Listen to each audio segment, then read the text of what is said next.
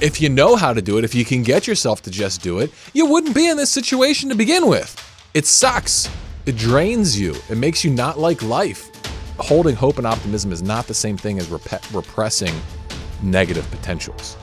The fundamental thing that you need to do is play a better mental commercial.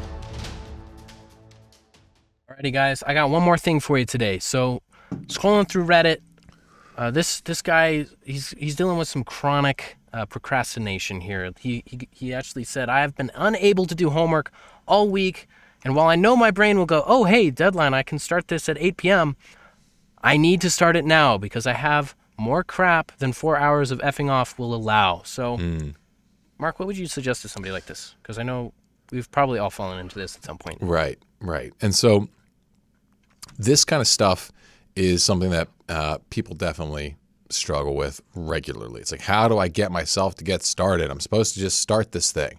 I think one of the first issues, um, you know, for someone who wants to be highly productive is you got got to make sure you have the right plan.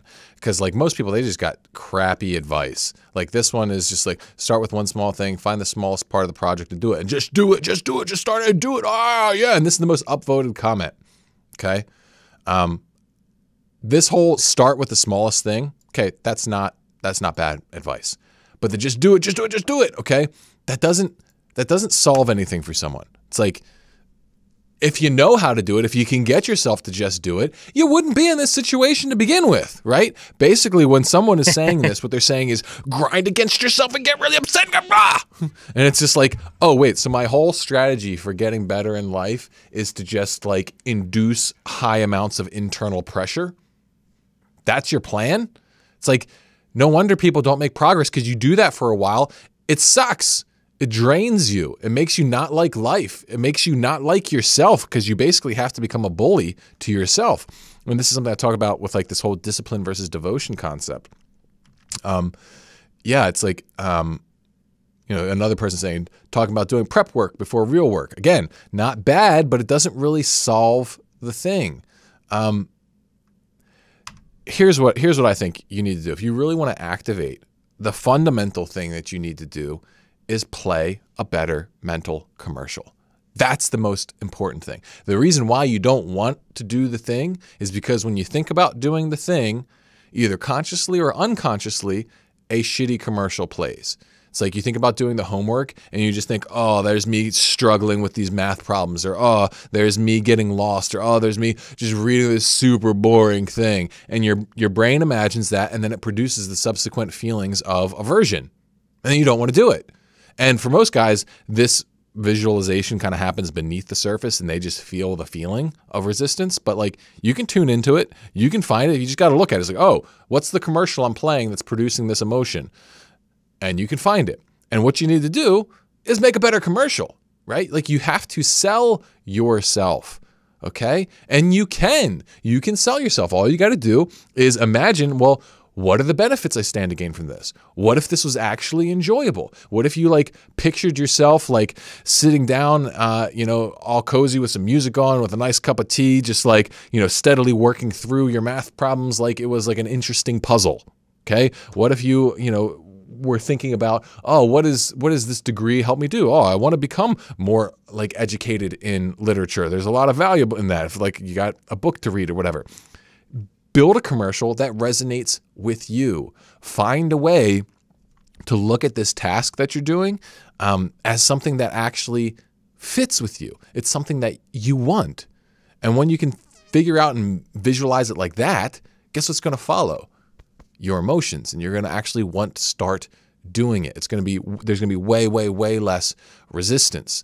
In fact, uh, one technique that you can use that I developed is like imagine yourself already in the midst of the act imagine like oh what if i was doing my what if i was doing this thing and loving it what would that feel like what would that look like imagine that you are that person and and, and start feeling gratitude for being that person and for whatever reason when you think about it like that it's so easy to activate. It's basically it's like you're tapping into the frequency of like someone who's, you know, locked in positively to that activity you're tapping into that frequency, you're tuning your your brain to it, And then once it's tuned in, then your body kind of just follows along. It's kind of like, oh, we're tapped into the right radio signal and it's going to, you know, guide us to actually creating that reality in us. So to say it again, it's like you imagine what it would feel like if you were already fully in that thing. So this is what I do when I'm trying to get myself out of bed in the morning. That's where I struggle the most with activation, especially when I'm getting up early, like I was talking about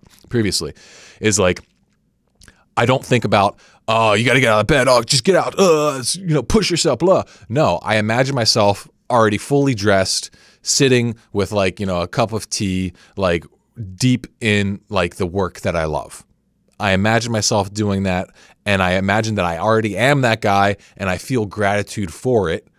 And for whatever reason, my body just like, oh, is that what we're programmed to do? That's what we're doing. And then my body just like goes and tries to align itself with that good vision. Um, and it takes a little while sometimes to really build that commercial up when I'm a little groggy in the morning, but you can do this with anything. Find the state you want to be in, imagine it, build a commercial for it, and then go for it right? Um, I could do a whole course on this kind of stuff, but just start playing around with this because this is the sort of thing that's going to make a, a real difference other than this horrible, not hor, not horrible advice, but just advice that's really just going to leave you grinding against yourself. One more thought I wanted to share with you guys. What I wanted to talk about is just something that I've I've noticed with um, anxiety and stress and a lot of times even just resistance with things.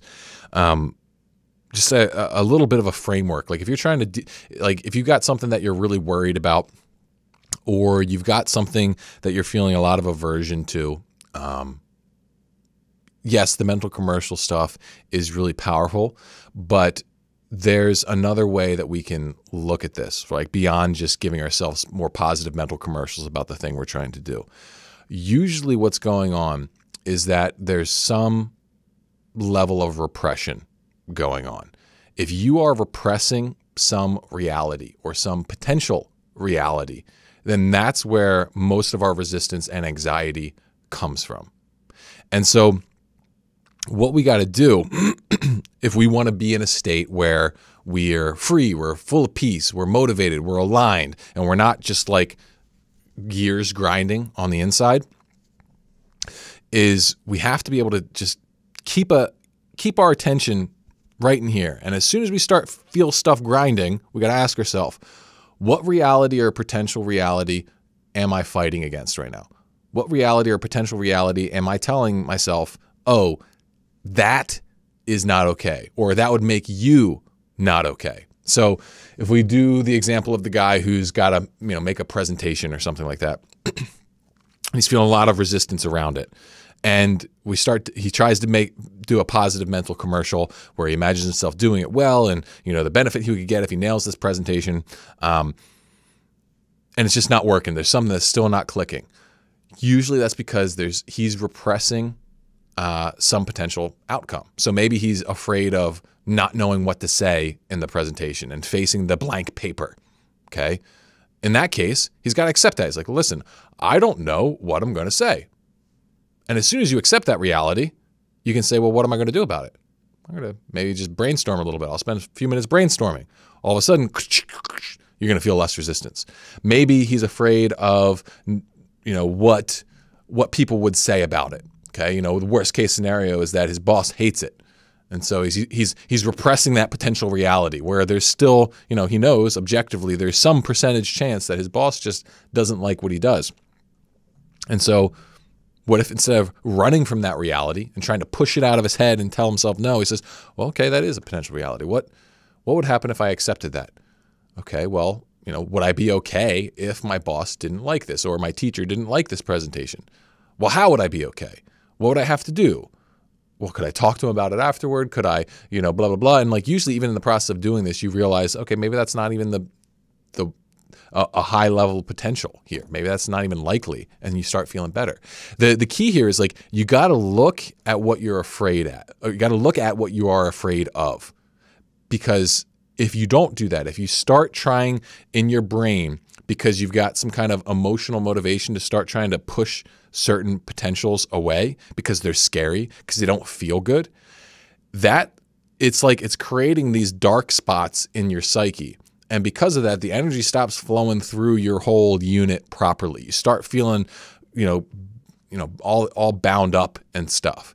It's kind of like you know, if you look at a you imagine like an old mechanical clock. It's got all these gears fitting together that all have to move together. If you just go in there and start pulling out gears, it's just going to stop working, right? And that's essentially what we do when we let our fears lead us to repress potential outcomes. It's like um, this guys do this all the time when it comes to approaching women. It's like, oh, uh, I feel all this anxiety. Why? Because you're you're trying to eliminate the possibility that the woman would reject you because you're afraid of that possibility. What if you already accepted that that was a possibility and you already made peace with it? Well, then at that point, it's not nearly as scary because you know you, you're living in reality, not fighting against it. And it's not even reality as it is; it's reality as it could be, right? So you still have the power to try and move everything in the direction that you want. And this is why you got to learn how to hold that hope, hold that optimism. But holding hope and optimism is not the same thing as rep- repressing negative potentials. So hopefully this kind of thinking is useful to you because uh, the more I examine my own feelings, the more I, I look at my own negative emotions that come up, there's almost always some form of repression going on. There's some reality that I don't want to look at, some thought, some fear, some outcome that I'm treating like the boogeyman and I'm saying, stay away. Oh, I don't want that. But as soon as I actually bring it closer, I look at it, I accept it, I find out how I would be okay if things did go that way, or uh, sometimes it's just how things are, and I accept it. Oh, this is the game I'm playing. How do I want to respond? As soon as I do that, so much of the negative emotion just disappears. Um, and this is what really taking ownership of your reality looks like. It means taking ownership of all the reality, not trying to hide from any of it, present or potential in the future. And if you do that, well, then uh, you get less bound up. You you know not so resistant you're not feeling so much negative energy and it's a lot easier to make progress toward the things you do want. So hopefully you found that useful. Um, what do you think of that pete? That's super helpful. You know there's i took a, a speech class one time and the professor said before you go up and present to the class give yourself permission to fail to mess up to make mistakes to say words wrong to do all of it. Because when you give yourself permission to do it, you stop fighting against doing it. So you actually loosen up quite oh, a bit. Yeah. And it's kind of interesting. It's counterintuitive, but it's kind of along the similar lines of what you're saying. Yeah, and, and, to be clear, this is not saying that we're aiming for failure or we're lowering our sights or, or like trying to manifest failure or anything like that. Like some no. people, they do do that. They're like, oh, you know, I'm going to fail. So, you know, I might as well just lean into that failure and just like not give a crap. You know, that's the person, what they're doing is they're repressing their potential for success. They're afraid of success because, right. you know, if they take success off the table, then, oh, that feels better. Oh, it's not even an option for me. So who cares? Right. It's like, no, we're saying accept it all, accept your potential for success, accept all the good in your life but also accept your potential for failure and also accept all the stuff in your life you don't like. Accept it all. And it's only from there, from that fully filled in picture of reality, will you be able to make the best decisions about where you should go. Otherwise, there's going to be these massive dark spots in your vision, and your brain just projects, you know, tigers and monsters and boogeymen into all those black spots. So it's like, you know, shine the light on them, see what's there, and it's never as scary as the thing that you imagine is there.